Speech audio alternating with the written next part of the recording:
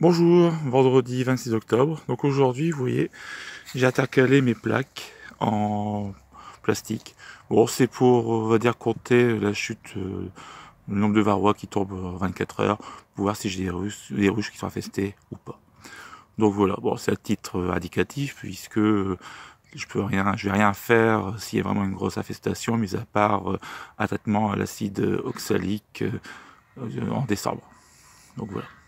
Sinon, euh, j'étais surpris, de voir euh, la quantité de frelons asiatiques présents au parc Astérix. Alors je sais pas, ça paraît bête, euh, mais les dernières, je suis à la même époque, il n'y avait pas autant que ça. Et là, cette année, c'était blindé. Bon, heureusement, il n'y en avait pas non plus partout, mais il y a des endroits où ça en était, c'était rempli. Surtout au niveau du lierre, dans le village des Gaulois. Il y avait un lierre qui était en fleurs et il y avait plein de frelons qui butinaient c'était, ça faisait peur. Donc voilà, alors si vous avez l'occasion d'y aller, jetez un coup d'œil. Mais bon, ça, je crains le pire pour les années à venir. Ça veut dire que le folon, bah, ça se disperse à une vitesse grand V. Et les prochaines, je pense être vraiment être confronté au folon asiatique. Il y a un cas euh, sur Gulzin, à proximité de Méruche. Donc je pense que bah, ce nid va certainement euh, disperser des fondatrices pour l'année prochaine.